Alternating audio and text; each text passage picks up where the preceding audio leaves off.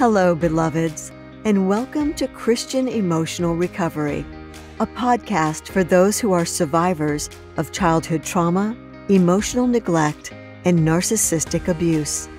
This podcast is hosted by Rachel Leroy, a college professor and trauma survivor. Many of us spend years trying to heal and don't get anywhere.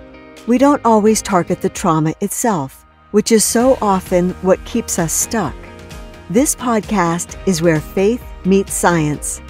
Rachel is an emotional healing expert with 20 years of experience applying healing modalities that helped her start making progress after nothing else worked. She'll show you how to do the same. Each week, we'll cover a topic that will show you how to heal trauma for good.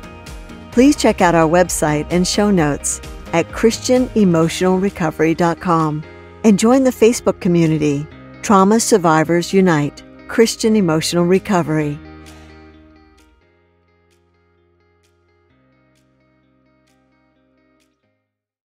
Hello, everyone, and welcome to Christian Emotional Recovery, the podcast.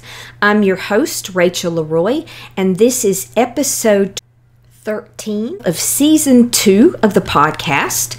And occasionally, I'm going to use a YouTube video to help promote the YouTube channel and convert it into a podcast episode so that I can also save time and I can provide you with the best material possible to help you heal from trauma and abuse. So, this episode is from a YouTube video that came out a week ago, and it is 10 ways to avoid re traumatizing yourself when you're trying to heal. 10 ways to avoid re traumatizing yourself when trying to heal. And this video, like I said, this, this podcast is from the YouTube video. So if you could, could you do me a favor? And if you can, pause the recording right now, the podcast recording, and go subscribe to the YouTube channel because if you aren't subscribed, you're missing out on a lot of wonderful content that can help you empower you, educate you, motivate you, and give you practices that will help you heal trauma, abuse, narcissistic abuse, childhood emotional neglect, and other emotional issues. So go ahead and pause, and then there is a link below in the show notes Christian Emotional Recovery, the YouTube channel, or you can go to YouTube, go to sign into your account, and click go to Christian Emotional Recovery, click on that, and click subscribe. And you'll get updates on all the latest episodes. The episodes, just like the podcast, come out every other week overall. I try to do it every two weeks as much as I can. And they alternate the other weeks besides when the podcast is in season and coming out as well. So um, check out what's already there and also check out what is continuing to come out. So subscribe to the YouTube channel if you haven't already.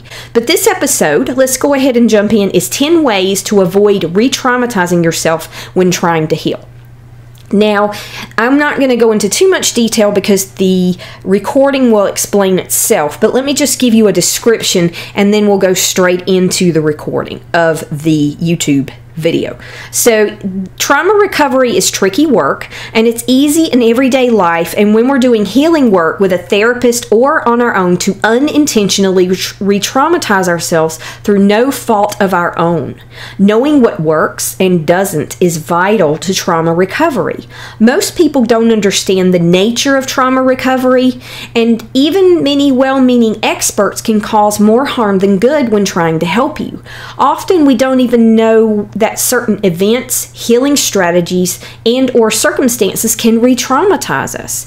This video discusses 10 specific ways we inadvertently or unintentionally become re traumatized, and then it gives 10 solutions to avoid re traumatizing ourselves when doing healing work. We go into detail about why re traumatization happens in these situations and specific techniques that will help you move forward with healing work while protecting yourself from further trauma. With the right education and tools, you can move forward instead of backwards in your recovery and achieve healing that sticks. Hello, everyone. I'm Rachel Leroy, the host of Christian Emotional Recovery, the podcast. The host of Christian Emotional Recovery, the YouTube channel, and also um, the host of Christian Emotional Recovery, the website. So check those out. Hit the subscribe button on the YouTube channel if you haven't already. Thank you so much for visiting the YouTube channel. And if you haven't, also go below to the show notes and check out the link to the podcast and subscribe to that as well. So today I wanted to do a video on 10 ways to avoid re traumatizing yourself when you're trying to heal. 10 ways to avoid re traumatizing yourself when you're trying to heal. Now, bear with me because um, my computer screen is right here, and so I look at this. This is where my notes are for my videos. Some of my videos I will just um, improvise a little bit, but some of them I have fairly detailed notes, so bear with me if I'm looking back and forth between the camera and the um, computer. Thank you for bearing with me. So, um, a lot of us are you know, um, survivors of trauma and abuse and traumatic situations and traumatic events. And there's a wide variety of people following the channel now. It is survivors of childhood emotional neglect, childhood trauma, ACEs, which is adverse childhood experiences, and narcissistic abuse, both in childhood and in adulthood. But there's also people on the channel that have suffered from traumatic events, that have had traumatic brain injuries and traumatic physical situations, such as surgeries and other types of injuries that have caused long term trauma in their minds. And so I hope this channel is helping a variety of people, not just survivors of childhood trauma and uh, emotional neglect and abuse, even though that is the primary focus of this channel. It is for anyone who has survived trauma or anyone who is trying to heal emotionally from anything, really. So let's go ahead and look at 10 ways to avoid re traumatizing ourselves when you're trying to heal.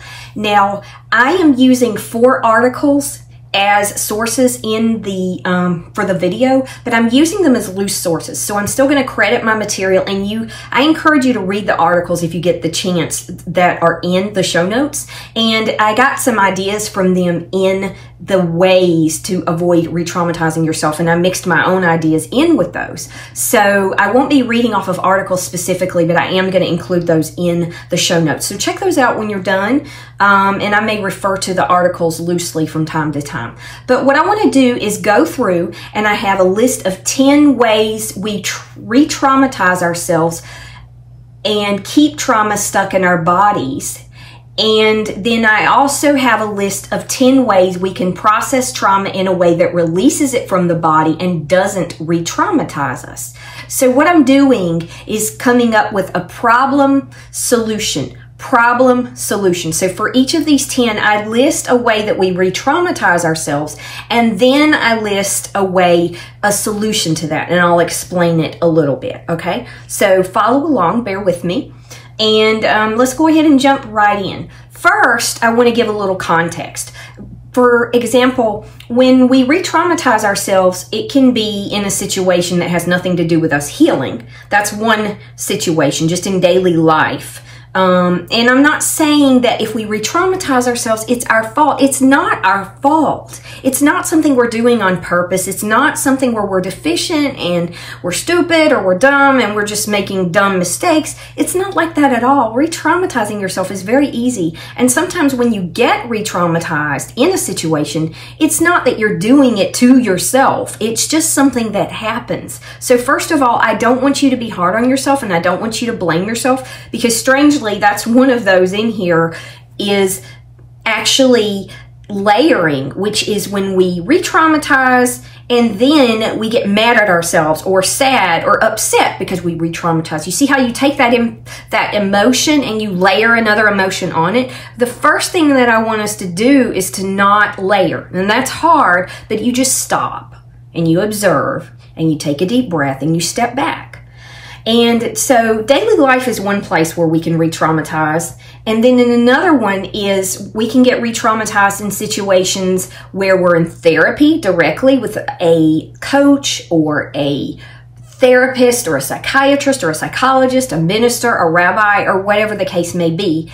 If somebody doesn't know what they're doing when they're doing trauma therapy, they are likely, even when they mean well and they're compassionate and they're a good therapist otherwise, to potentially cause re traumatization. That happened to me a lot in my early therapy because I didn't even know what was going on. And so if you know, then you can find a therapist who also knows what trauma is, who is very informationally educated or very informed about the nature of trauma and how to work with someone like that and and someone who has the wherewithal, the containment, the maturity, and the self awareness to be able to actually take that into action when they're with you when you're triggered. Because even a trauma informed therapist can't help you if they don't have the presence to hold a space for you to do that in practice. Does that make sense?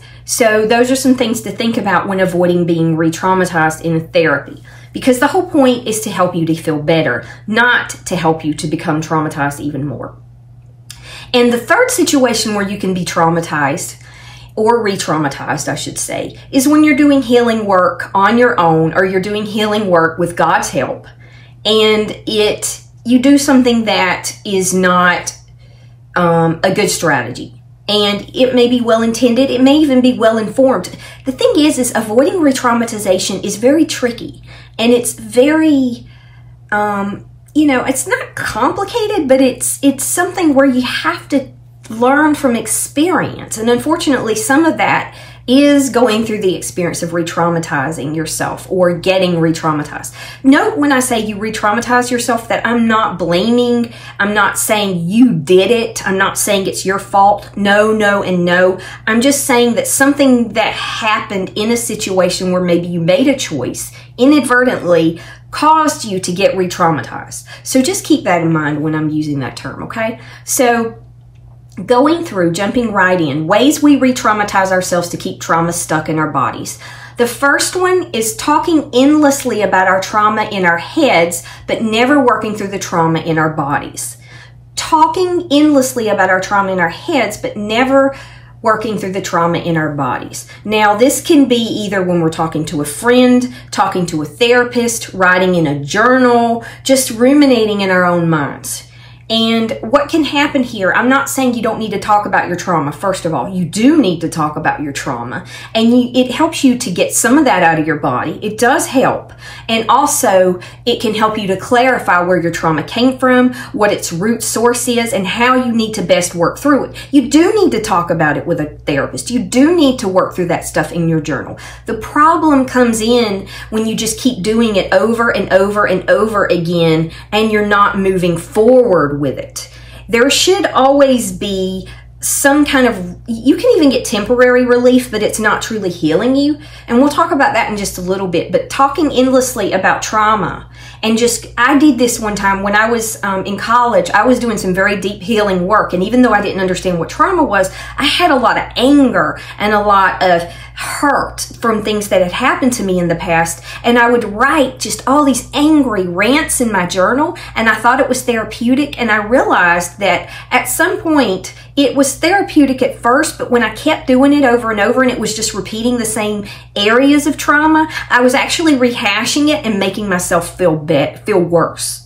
I was making myself feel worse. So it is tricky sometimes to know is this helping me? Is this helping me temporarily but not long term? Or is this actually making me feel worse? So you've got to start feeling in your body and trusting that feeling about whether it's making you feel better or worse. Now keep in mind when you're doing this, it's not going to feel good, but there's a sense of, of, um, what's the word? Uh, it, there's a visceral sense of catharsis that you get, even though it may be painful, you get a sort of cathartic feeling when you know it's healing you and that trauma is coming up out of your body and you're getting a deeper understanding about it. So the, the solution here is talking, journaling, and meditating about trauma as we work on the sources of trauma in the body. So feeling in the body, especially in a safe space with a trauma informed specialist, is how you will start to bring this stuff up and out of your body. If you're doing it on your own, start with somebody who can help you, and then eventually you can do it more on your own as you get more experience and learn to trust yourself. I never thought I would get to the point where I could do that, and I do. And I do. You let God guide you, but you also listen to your body and what it's telling you and feeling into your body without shame, without layering, and all of that. But talking, journaling, and meditating about trauma as we work through the sources of trauma in the body, finding the balance between these two.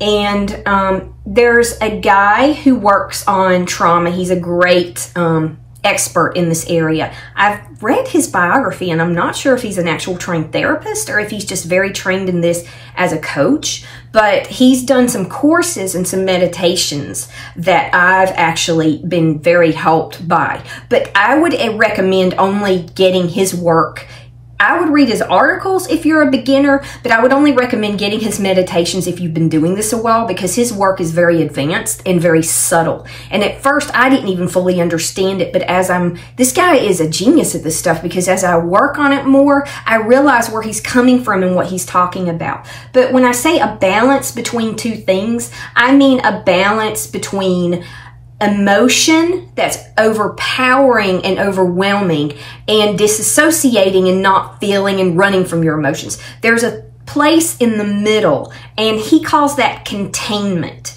And as you get more experience, you'll be able to have more resilience to sit with those powerful emotions without letting them overwhelm you, but still allowing yourself to feel them a little bit at a time, not the whole thing at once in your body.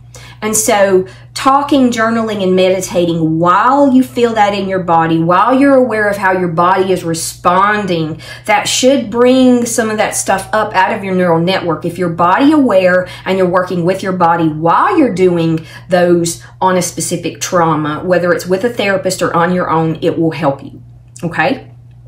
Number two, the way that we re traumatize ourselves um, and keep trauma stuck in our bodies is disassociating when we're trying to process trauma by avoiding emotions at all costs that we can't feel so that we can't feel anything in our bodies. And there's a hundred thousand ways we can disassociate, but disassociating is basically pushing away, suppressing, repressing, ignoring, or denying our emotions because they're too powerful and because we're scared of them. And that's understandable. And there are times when disassociation is actually healthy but it's not healthy to do ongoing. It's not healthy to do ongoing. So, as you get that experience with containment, as you work with a specialist who is trauma informed, then you start to do the solution to number two, and that is staying in touch with what's going on in our bodies and objectively being honest about that. And showing yourself compassion, building the ability to sit with our emotions through resilience and gradual, keyword gradual exposure. You don't try to take on the whole trauma all at once. You take one little piece of it and you deal with that little piece and then you take another piece of it and you deal with that little piece and you do a little bit at a time and that's how you can find a balance between resilience and not overwhelming yourself Okay. You feel that a little bit at a time and then you come out of it. You feel it a little bit at a time and then you come out of it. Not like constant back and forth. Sit with it for a few minutes. And as you get more experience, you'll be able to sit with it longer. And sitting with it is what allows it to come up and out of your body because you're feeling it. You're expressing it. You're allowing it to air out where it was suppressed before because somebody told you you couldn't feel that way or because you didn't feel safe or because you didn't know how to deal with it.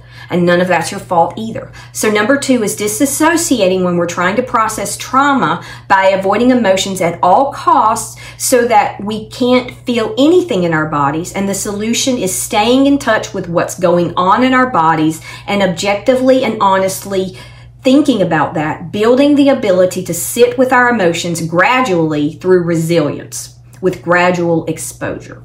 Number three, um, way that we re traumatize ourselves and keep trauma stuck in our bodies is overwhelming ourselves by letting the emotions of trauma take us over and letting them possess or control us. Now, it's easier said than done to just not let your emotions overwhelm you. And that's why you need to be in a place where you're calm and safe in order to process. And then you can bring that stuff up a little bit at a time. And if it becomes completely overwhelming, back off. If it becomes too much, then stop. That's okay. You can come back to it later when you're able to handle it more. Okay. So it is a judgment call. It is something you learn. It's a bit subtle, but you learn from experience what is enough and what is too much. And sometimes there's a gray area too, and that's okay. So the solution to this is starting off calmly. So being in a place where you're in a good mental state or an okay mental state.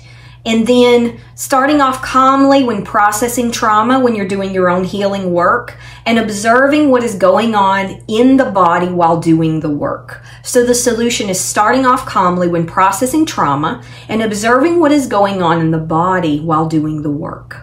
So, number four, ways we can re traumatize ourselves and keep trauma stuck in our bodies. Number four is trying to force or push the process too much at a time or more than we're ready to process. That's one that I was guilty of, and I thought that I was actually doing powerful healing work, but what I was doing was re traumatizing myself without realizing it. So it's something you need to be very careful about, but you also want to push forward carefully. Trying to force or push to process too much at a time. I know you want to heal. I know you want to heal fast. I was the same way. I'm like, I'm going to just, I would rather just sit in a bathtub and cry for five days straight and have all this trauma out of my body. And there are some people who've done that, but for me, at least, and for most people, I don't think that's the way to process trauma. And there might be times where we go through something like that and we are in a state of grief and we do let that out of our bodies and it is overwhelming and then we feel better. But that's not generally how you process trauma consciously. Number four here, the um, response to this is processing a little bit at a time instead of trying to take on the whole mountain. Processing a little bit at a time instead of trying to take on the whole mountain. So I know, like I said, trauma sucks and it feels like crap, right? But you take a little bit at a time, and over the course of weeks and months, if you're consistent, you start to see that come down. You start to see it come down. Um, so it does add up over time, and you'll start to see the progress that you've been looking for. So give it time and be consistent. That doesn't mean every day. Again, don't force to do it every day. If you need a break for a day, take a break for a day. Just don't stay away from it too long. Stay in practice. Find that balance. And that balance is what will really help you to make steady progress. Fast progress in healing trauma is possible, but sometimes it can increase the risk of re traumatizing yourself. Number five of ways you can re traumatize yourself and keep trauma stuck in your body is judging your emotions as they come up in a way that makes you feel worse. Judging your emotions as they come up in a way that makes you feel worse. So what that is, is you're traumatized and then you layer on top of that. You either get depressed or mad at yourself or you feel guilt or you're ashamed of yourself because you feel so and so emotion that's coming from trauma. Note the trauma is not your fault. And I know it's easier said than done to not layer, but it is something you can do through meditation. If you go into um, meditation and start to deconstruct this stuff and you become aware of your initial trauma and then you can see the layering that's separate and you can gently back off from that layering first you learn to identify it and then you separate it that's where the acorn, look at the um, show notes below, the acorn meditation and acorn process that I have for dealing with difficult emotions can help you start to differentiate between your initial trauma and layering or, ooh, this is how I feel about my trauma. You see the difference? So it's not something you need to feel bad about. Layering is perfectly normal. So if you layer, just observe that as well. Okay? Um, but judging your emotions as they come up in a way that makes you feel worse doesn't help. But don't judge yourself if you do it. It's tricky, right? But as you practice, you will get better. I didn't think I could ever do any of this. It took me years, but it can be done. It can be done. Not so the solution number 5 is not judging what feelings or thoughts come up in the process and not judging ourselves if judgment comes up too. I'll say it again, not judging what feelings or thoughts come up in the process and not judging ourselves if judgment comes up too. Okay? Number six, want to get on through these. In ways we can re traumatize ourselves and keep trauma stuck in our bodies is staying cognitive and analytical and not being in touch with what we're feeling in our bodies. Staying overly cognitive and analytical and not being in touch with what we're feeling in our bodies. Now, let me make a note there. There's nothing wrong with being cognitive and analytical about your trauma. And there is a time to step back and be objective and analyze it. But when you're trying to actually do the processing of the healing work, You need to go more into your body and allow yourself to feel what you're feeling, like I said, with containment, a little bit at a time, gradually, when you're doing your healing work, when you're doing therapy. So, number six here in response to that is being aware of your thoughts without getting caught up in them and completely blocking or completely blocking them out. There's a balance with the emotions. You don't want to overwhelm yourself with too many at a time. You don't want to just let them completely take you over and possess you. You don't want to disassociate with them and you don't want to completely repress them when you're doing the healing work either. You do a little bit at a time. The same is true with your thoughts. You don't completely block out your thoughts. You're aware of them, but you don't just go down a rabbit hole in your thought process and just get swept away so you're not in your body anymore. You stay in your body. You're aware of your thoughts without getting caught up in them. So you don't get caught up in them like your emotions, or you also don't completely block them out. So it's being aware of them without being overwhelmed by them or forgetting about what's going on in your body. Stay in the body and stay aware of your thoughts. And you can go back and forth a little bit with each one. It doesn't have to be where, where you're trying to do both at the same time on some balancing skill. Does that make sense? So just be gentle with yourself there and work on it a little bit at a time. Number seven of ways we re traumatize ourselves to keep trauma stuck in our bodies is not having the emotional resilience to sit with the emotions and feel them for a time. Not having the emotional resilience to sit with the emotions and feel with them for a time.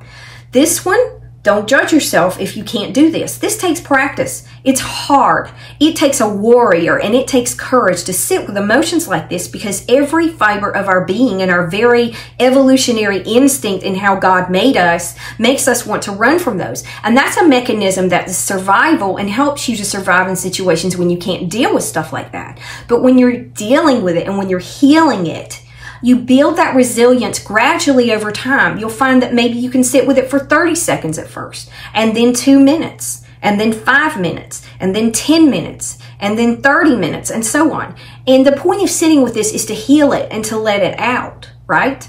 And so you build that resilience up over time by being kind and gentle with yourself and by doing it gradually. You do push forward. You do have to have some wherewithal and some courage and some warrior spirit in order to do this healing work. It takes courage and it takes oomph.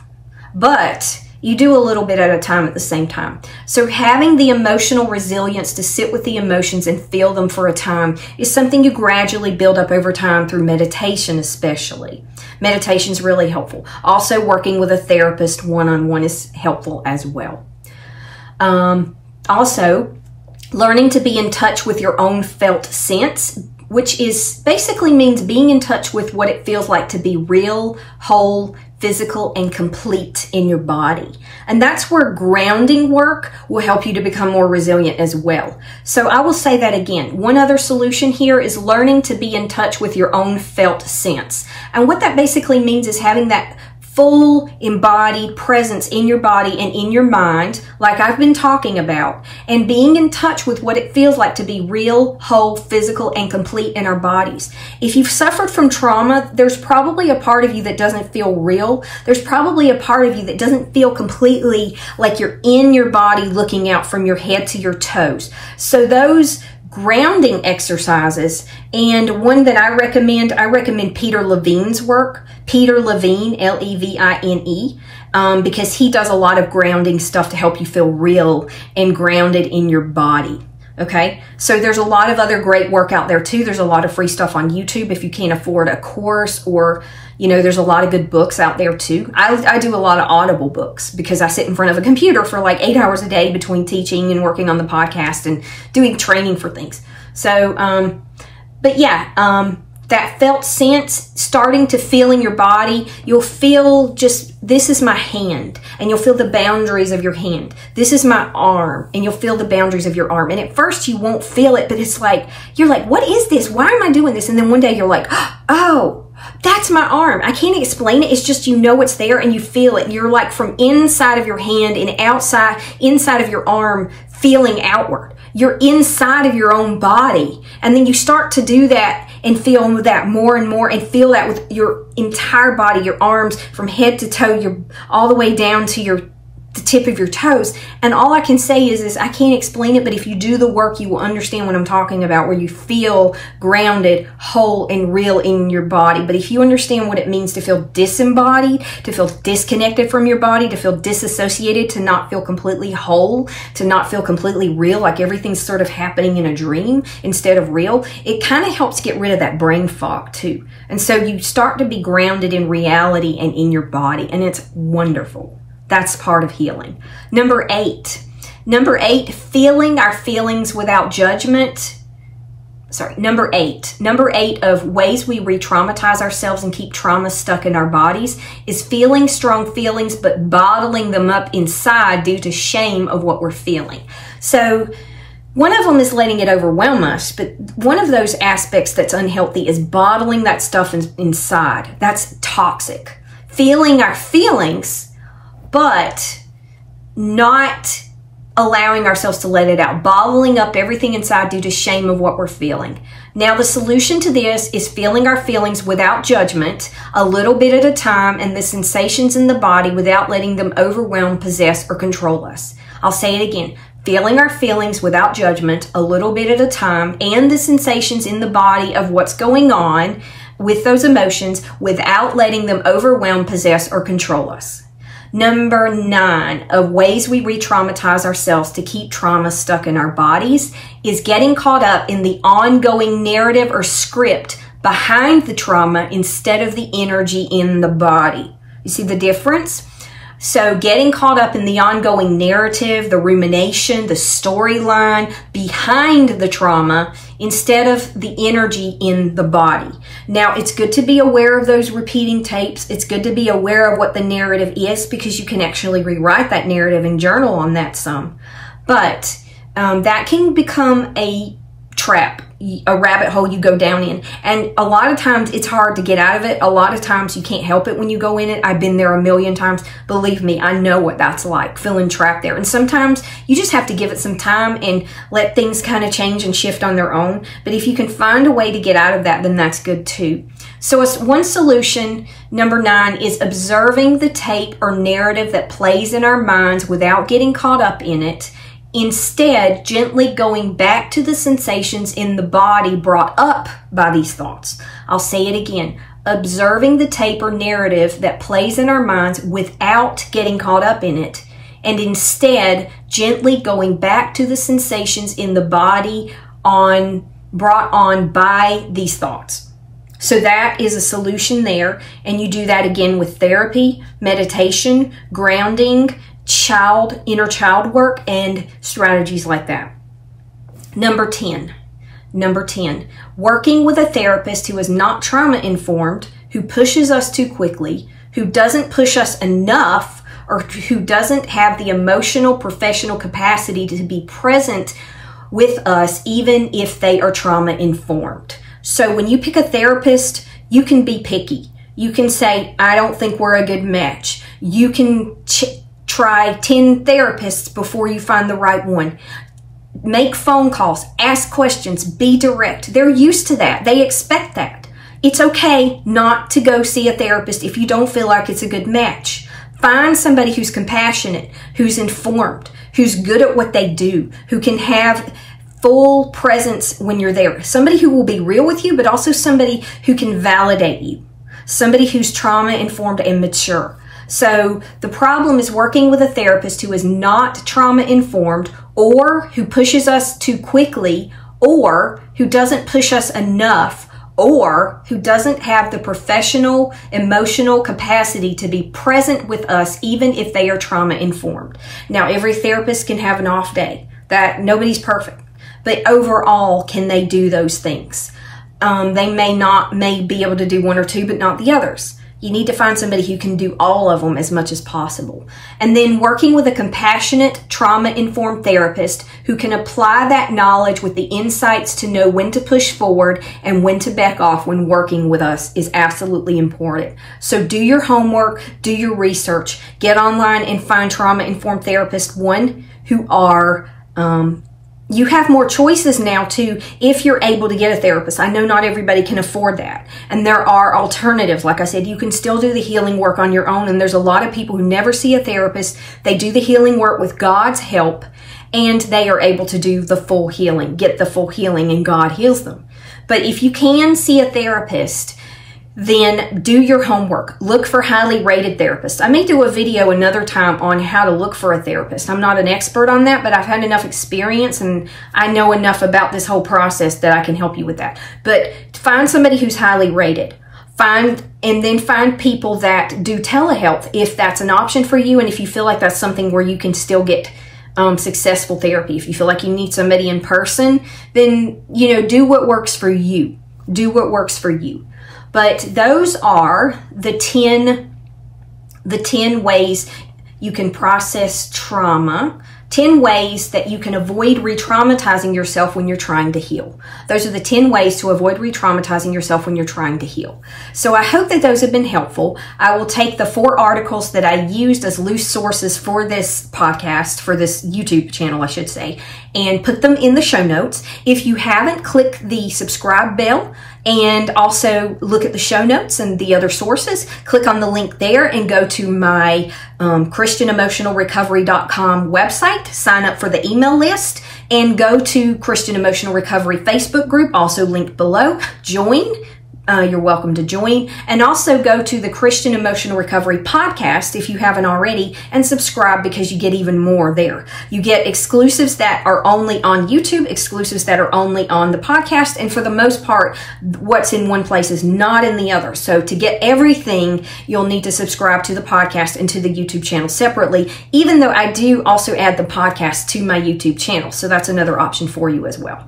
Thank you so much for going on this journey for me. I know this was a long video video. I hope it was helpful. I hope it was insightful. And I hope it'll give you strategies that will help you to heal. And I'm going to come up with more resources that you can like look at this. I'm going to have an online store and I'm going to have reasonable prices and I'm hoping to be able to take like some of these strategies and write them down in tutorials and infographics and courses and stuff like that in the future. But in the meantime, the YouTube channel will always be free. The podcast will always be free. The Facebook group will always be free. So God bless you. Remember you are fearfully and wonderfully made. Thank you so much and have a great day.